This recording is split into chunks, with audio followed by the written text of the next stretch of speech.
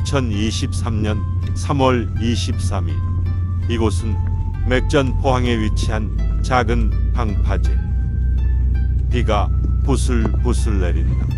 일기예보에는 저녁에 그친다고 했는데 기상청이 내게 사기를 친 것이다. 최초 목적은 갑오징어를 잡기 위함이었으나 비가 내린 관계로 수온이 떨어져 갑오징어들이 깊은 곳으로 숨어버렸을 것이라고 판단. 볼락무어로 급변경하게 되었다. 툭하는 입질과 동시에 질질 끌려 나오는 볼락. 아, 가랑비를 맞으며 의미 없는 낚시를 하고 있는 것이다. 집에 갈까 말까. 그래도 나온 김에 서너 마리라도 손맛을 보고 가야 될 것 같아 비를 맞으며 낚시를 계속 이어나간다.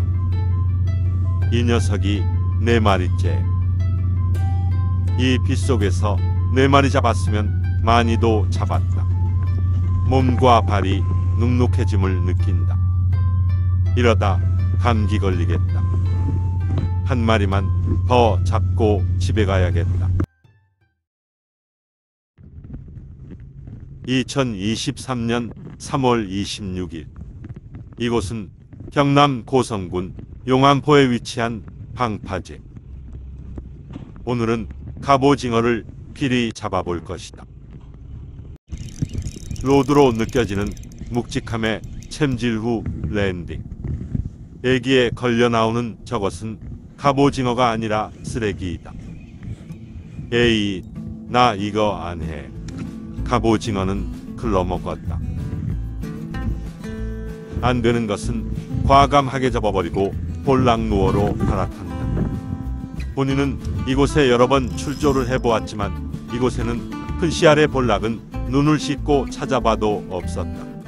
그래서 마음을 비우고 볼락누어를 하는 것이다. 젖볼락의 미약한 숏바이트는 틈틈이 들어오나 이놈들이 너무 작아서인지 부킹이 제대로 되질 않는다. 어찌어찌해서 한 마리 걸어냈다. 예상했던 대로 작은 젖볼락 녀석이다. 이런 녀석은 10초 내에 방생을 해야 되는 것이다. 쓸모없는 녀석. 버려버려. 다시 갑오징어로 갈아탄다. 봄살난 갑오징어는 몸에 참으로 해롭다고 한다. 허나 갑오징어 낚시 하나만으로 몸을 해롭게 하지는 않을 것이다. 볼락무어와 병행하며 내 몸을 지킬 것이다. 술도 안주 없이 깡 소주만 냅다 들이키면 몸을 망치듯이 볼락무어를 안주 삼아 갑오 징어 낚시를 한다면 건강엔 무해할 것이다. 하지만 요즘 안주가 부실하다.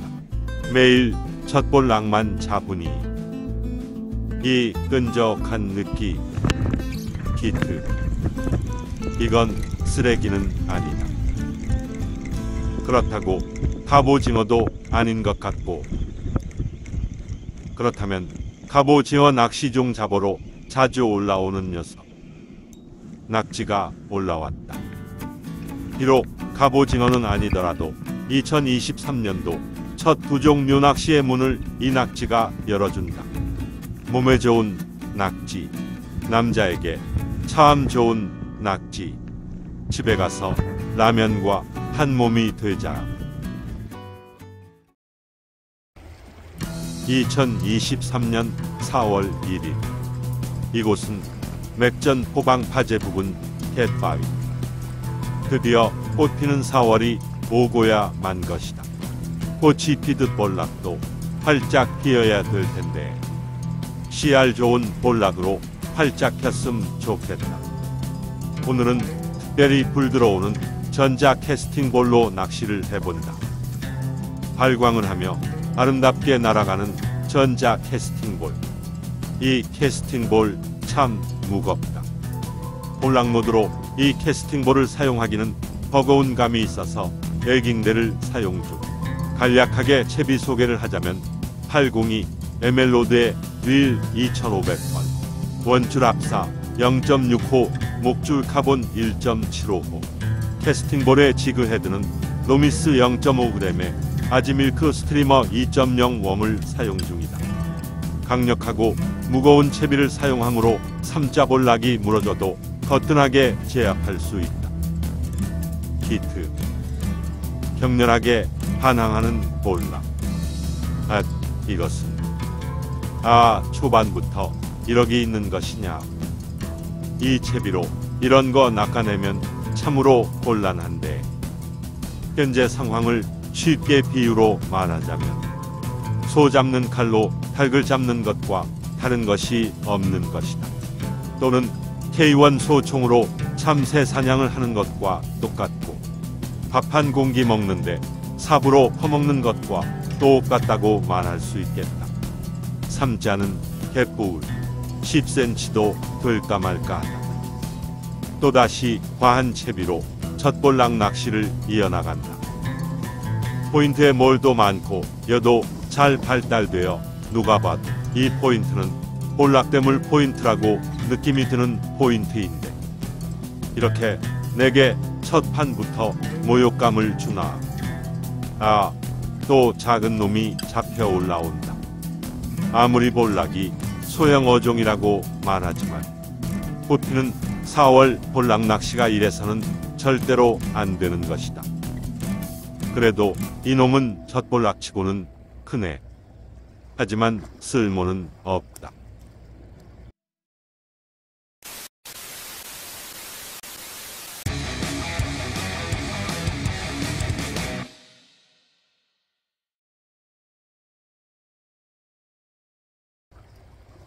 채비의 이점을 최대한 살려서 멀리 캐스팅해 CR 좋은 볼락을 노려본다. 날아가긴 시원시원하게 날아가는 채비. 저 멀리엔 만족할 만한 녀석이 있을 것이다. 기트. 멀리서 물어서 기대를 해볼 만하다. 손맛도 딱히 나쁘지도 않고. 그러나 랜딩으로 녀석이 내게 가까이 올수록 그렇게나 좋은 손맛도 아닌 것이다. 캐스팅 볼무게 볼락에 하찮은 몸부림이 더해져 이 녀석이 CR이 되는 녀석인 줄 착각을 하고 만 것이라고나 할까. 넌 왜 이 시기에 크지도 않고 작은 것이냐. 그것도 멀리서 잡혀나온 녀석이 말이야. 참으로 멀리서 잡아내도 별 수 없는 것이다. 이 포인트에 도착 시 물때가 만조한 시간을 지난 시간. 오늘은 새물로써 물이 많이 들지 않는 날이다. 그러므로 물이 빠지자마자 무섭게 몰들의 걸림이 채비에 발생되어져 낚시하기가 어려워지고 있다. 거기다가 입질도 더듬더듬 들어오기 시작했다. 아마도 여기에 도착했을 시간이 볼락들의 feeding time 마지막이었지 않나 싶은데 시간이 지날수록 볼락을 잡아낼 기회는 점차 줄어들고 있는 현실이다. 기트 채비가 집어등 불빛에 다다을 무렵 입질이 들어온 것이다. 입질 들어온 위치상으로 보나 손으로 느껴지는 손맛으로 보나 100% 젖볼락이 확실한 것이다.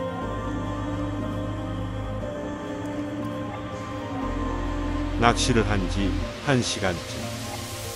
네다섯 번 캐스팅에 한 마리꼴로 볼락이 올라오는 실정이다. 이젠 멀리에서는 아예 볼락에 입질이 들어오질 않는다.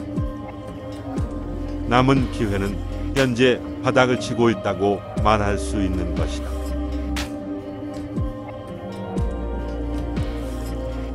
기트 간만에 들어온 입질이다. 연한 가까이 바짝 붙여 캐스팅해 채비를 천천히 끌고 오던 중 받은 입질이다. 이 녀석은 잡아낸 녀석들 중에서 그나마 힘이 센 편이다. 오늘의 최대어 인가. 이 녀석은 15cm는 될 법해 보인다. 체장 길이는 되는 녀석. 그러나 기분하지 않을 것이다. 이만한 녀석을 더 잡아낼 자신이 없다. 또다시 시원스레 멀리 캐스팅을 해본다. 입질이 소강 상태인 현재 상황이지만 그래도 멀리에서 좋은 씨알의 볼락을 잡아낼 희망을 버리지 못하고 있다. 저 멀고도 어두운 곳에선 분명 이자드는 볼락이 살고 있을 것이다. 채비가 착수된 지 얼마 안 있어서 들어온 입질이다. 요 놈도 꽤 괜찮은 손맛이다. 기준치 씨알은 들듯한 녀석일 듯 싶다. 오직에 일질을 해서 녀석을 내 앞으로 모셔냈다. 요 놈도 15cm. 갑자기 씨알이 커지면서 입질이 막 들어오네. 이 앞에 잡은 녀석을 방생하지 말 것을 그랬나. 그럼 지금부터 킵 사이즈 모아볼까.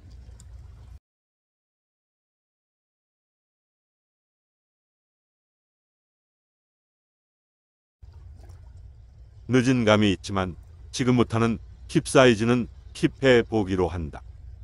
이 시점에서 많이도 바라지 않는다. 딱 다섯 마리만 나와주면 된다. 다섯 마리만 나와준다면 오늘 낚시 손 털고 바로 철수할 것이다. 입질이 들어왔다. 입질이 들어왔긴 왔는데 아하 몰에 걸려버리고야 말았다. 물이 빠져나가면서 몰걸림은 더 심해지고야 만 것이다. 어찌나 몰들이 무성하고 풍성하게 자라났는지 웬만하면 이 정도 기다리면서 어르고 달래면 볼락이 몰에서 나왔는데 오늘은 빠져나와 주지 않는다. 밀림같이 자란 몰틈에서 게릴라처럼 치고 빠지는 볼락. 빈 채비만 올라온다. 에렉이 베트콩 같은 볼락 자시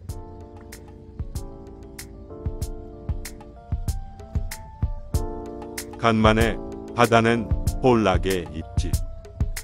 이번엔 드랙을 바짝 잠궈서 몰로 파고들 틈을 주지 않고 제압해버렸다. 시야를 보니 그닥 드랙을 꽉 잠글 필요가 없는 녀석이다. 아직 기준치 세 마리는 더 잡아야 되는데 이딴 게 올라왔네. 야심차게 계획을 세우는 쪽쪽 다 박살나고야 만다. 4월과 전혀 맞지가 않는 볼락낚시 패턴. 1, 2주 더 기다려야 씨알 좋은 녀석들이 연안 가까이 붙을 것인가. 봄꽃이 필 때보다 봄꽃이 질 때가 더 볼락낚시가 유리한 것인가. 아무튼 이제는 입질이 거의 들어오지 않고 있는 상황이다. 그래도 이 상황에서 정신을 더 집중해 볼락을 노려보지만 더 이상의 낚시는 시간 낭비일 뿐. 이쯤에서 낚시를 접는 것이 이득인 듯 싶다. 오늘의 볼락무어는 여기서 종료. 감사합니다.